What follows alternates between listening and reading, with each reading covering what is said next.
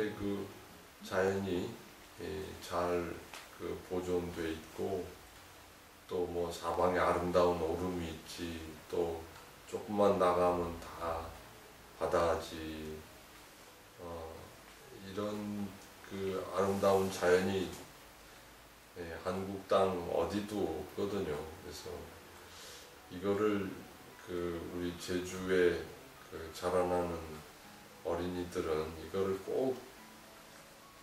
지켜야 된다고 봐요. 그래서 어, 그 이 자연의 그 보물을 어, 다음 세대 또 그 다음 세대 어린이들도 맛볼 수 있도록 어, 이건 자연을 한번 파괴되면 그 다음에 다시 만들 수가 없거든요 사람이 어, 그러니까 그 한번 파괴되면 그냥 그걸로 끝나버리고 재생이 안 되기 때문에 생명이라는 거는. 그래서 어, 그 우리 어린이들이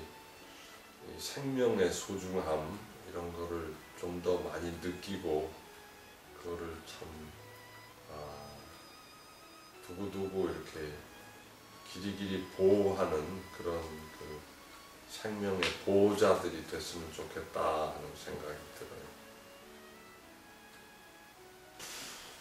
예, 어린이 여러분 이번 그 성서 주일에 여러분들이 이렇게 많이 모여서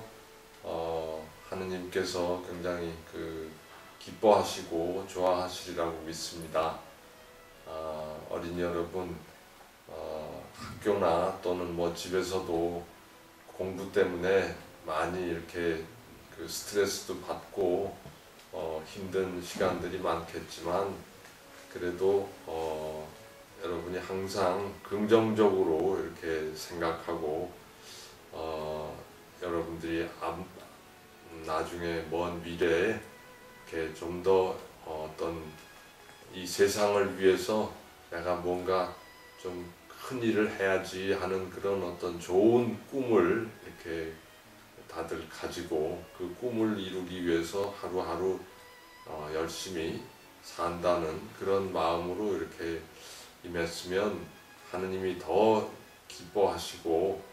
여러분이 그 지금 여러 가지 그 하루하루 이렇게 살아가면서 겪는 어떤 어려움들 그런 어려움들 이길 수 있는 힘과 용기를 하느님이 여러분들에게 주시리라고 믿어요. 그러니까 아,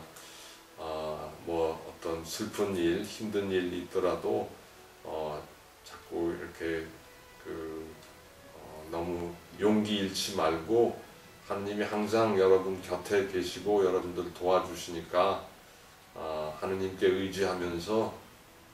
어, 어떤 그 좋은 꿈을 이룰 수 있도록 하느님 도와주십시오 하면서 이렇게 기도하면서